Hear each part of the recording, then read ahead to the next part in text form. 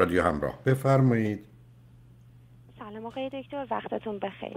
سلام بفرمایید. خیلی خوشحالم که تونستم باهاتون صحبت کنم و نمی‌دونم به چه زبونی ازتون تشکر بکنم.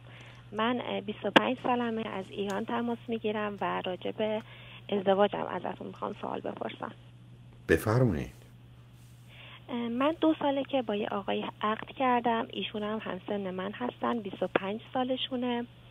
یک سال اول زندگیم با ایشون البته ما نامزد هستیم یعنی عقد کردیم ولی عروسی نکردیم. یک سال اول زندگیم با ایشون نشانه ها و اتفاقات منفی دیدم که الان شک دارم با ایشون عروسی کنم و قصد دارم که از ایشون جدا بشم. تماس گرفتم باتون نظرتون رو بدونم چون نظرتون تاثیر حیاتی رو توی تصمیمم داره. بفرمایید. به من بگید هر اولا دو سه سوال کنم. اولا هر دو فرزند چندمید عزیز؟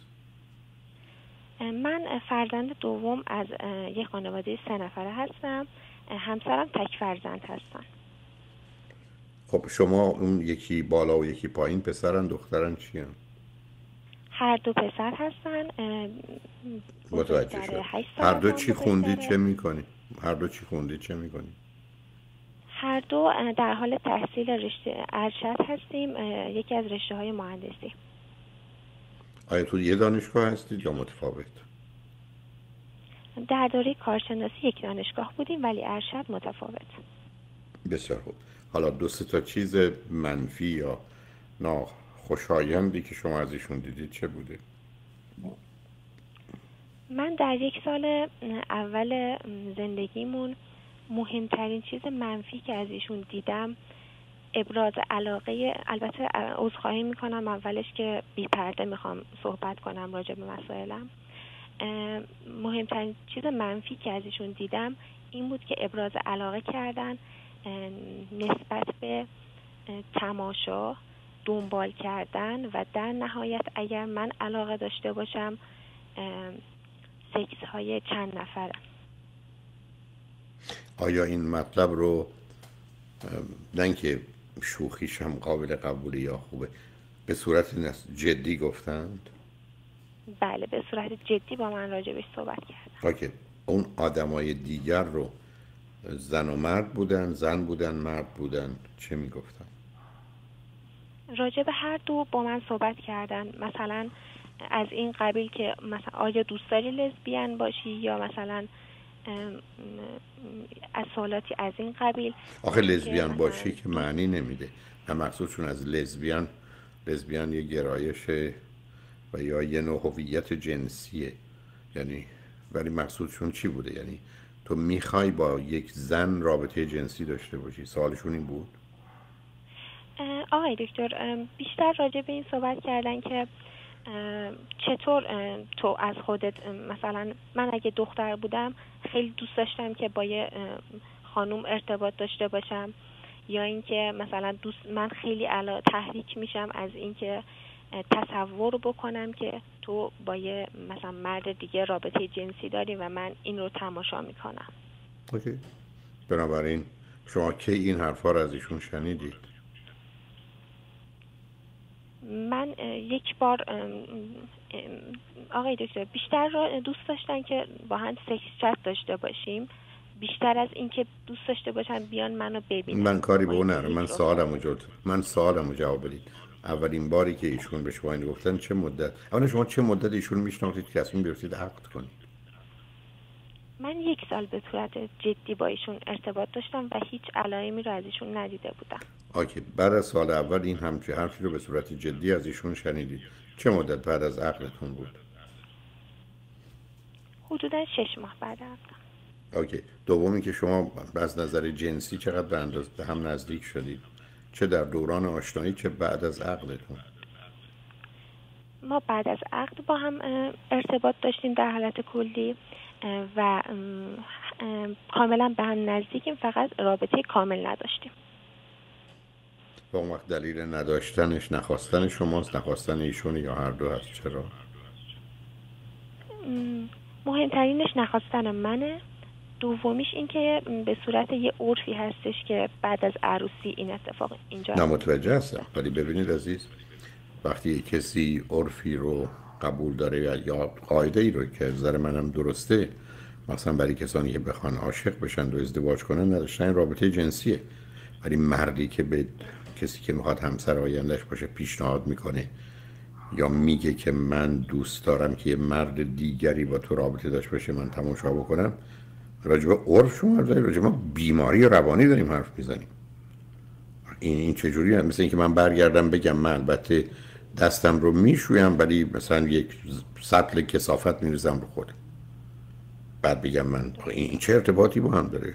یعنی علتی ازتون پرسم تکلیف خیلی روشن شما هم روز اولین باری که اینو شنیدید و مطمئن شدید جسدی هستن شما باید می‌رفتید عقد رو تمام می‌کردید به هم می‌زدید و از اون رابطه میامدید بیرون. الان هم همینه. شما با یه بیمار کامل روانی رو برو هستید اگرچه که به صورت عملی نباشه آقای دکتر همین که راجبش صحبت کرده باشن کافیه؟ یعنی که نه ببینید عزیز. چرا من ازتون پرسیدم حرفشون جدیه؟ یعنی که حاضر هستن کسی رو پیدا کنن که این رابطه رو با شما داشته باشه ایشون تماشا کنن؟ هیچ وقت به اون مرحله نرسیدیم که پیدا من به مرحله نیست عزیزم. نه سب کنید. اگر شما به ایشون آخه عزیز شما یه آدمی که یه سال میشناسیدش الان شده آلمو سه سال تقریبا ببخشید سه سال شده. شما سوال من از شما این است که با شناختی از ایشون دارید بگید باشه فکر کنین ایشون دنبال یه فردی میگردن که درگیری یه چنین رابطه با شما بشه؟ نه آقای دکتر من به این اعتماد و به این اطمینان نرسیدم که این کار رو می‌تونم بکنم. چرا چرا فکر می‌کنید نمی‌کنم؟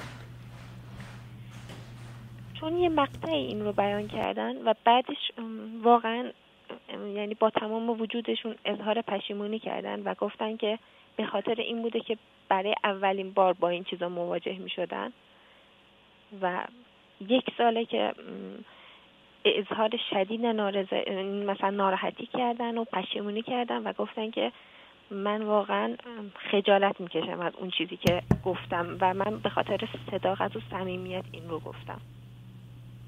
صداقت صمیمیت من اگر برگردم بگم که می‌خوام دو نفر رو بکشم اسمش رو میگه صداقت و صمیمیت بله و انسانی نیستن که اونقدر صادق و صمیمی باشن و من نسبت به این گفتشون شک دارم. اصلا ببینید عزیز من مطمئنم بسیاری از شنوندگان به ویژه هموطنان خوب و عزیز در ایران اگر این حرفا رو بشنون فکر می‌کنن اگر یه مردی به زنش بگه من دلم می‌خواد تو با یه مرد دیگه رابطه داشته باشی من تماشا کنم احتمالا پایان آخرین روز ارتباطشون. همین که فقط بله، مطمئن باشن. تصور دوست دارم تصور کنم. بله دوست دارم تصور کنم این رو. بله. نه. حالا الان چی؟ الان اگر شما بهشون بگید من آمادگی دارم یا اون حرفی که زدی باشه فکر می‌کنید ایشون به شما چی میگن نه صد درصد مخالفت می‌کنن و میگن که من اشتباهی بود که من انجام دادم. عزیز من این موضوع موضوع اشتباهی نیست.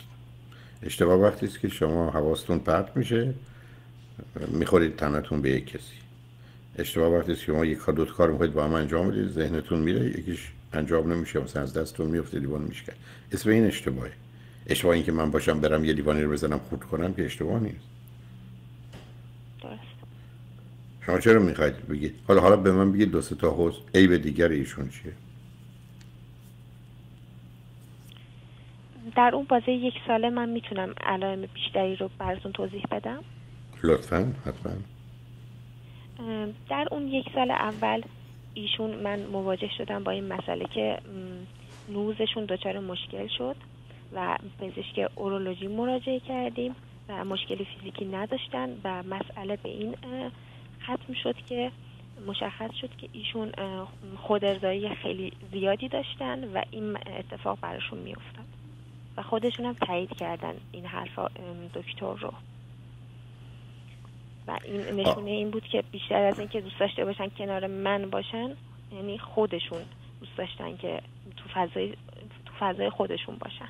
آیا به شما گفتن که من چه کسی یا چه کسانی رو مجسم می‌کنم؟ نه اصلا راجع به این به من نگفتن. فقط گفتن که من این کار رو بله انجام می‌دادم با فیلم های پر. حالا مهم اینه که آیا اطلاعاتی که به شما ندادن ولی شما فکر می‌کنید که این ممکنه در ایشون گرایشی به جهت همونطور به شما گفتن لزبیان باش با زنهای دیگه در ارتباط باش گرایشی در ایشون باشه که با مردان بخوان رابطه داشته باشن؟ مطمئنم که با مردان دیگه نمی‌خوان در ارتباط باشن. این از این بابت مطمئنم که علاقه ای ندارن. اوکی. حالا پرسشتون از من چی عزیز؟ من فقط می‌خوام نظرتون رو بدونم که به نظر من ایشون مثلا ادامه داد؟ نه نه.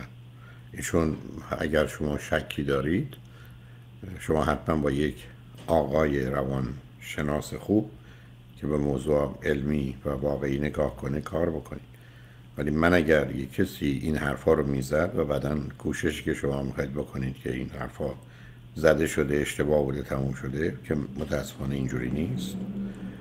من فکر کنم این رابطه مسئله داره و شما قرار نبوده تو این سن و سال یه همچین تصمیمی رو برای همه عمرتون بگیرید. من راحت نیستم. و مطمئنم اگر پدر و مادر یا برادران شما اینو بشنون هیچ کدام. اگر شنیدن به من بگید اگر بشنون به نظر من رضایتی به این رابطه و ادامش نداره درسته بله یک سوال دیگه که از حضورتون دارم اینه که ما من اینجا دسترسی تا اونجایی که تحقیق کردم به روانشناس خوب نداشتم ولی به روان پزشک متخصص مراجعه کردم. خب. آیا مناسب هستش برای چه کاری؟ برای چه کاری؟ برای مشکلی که دارم.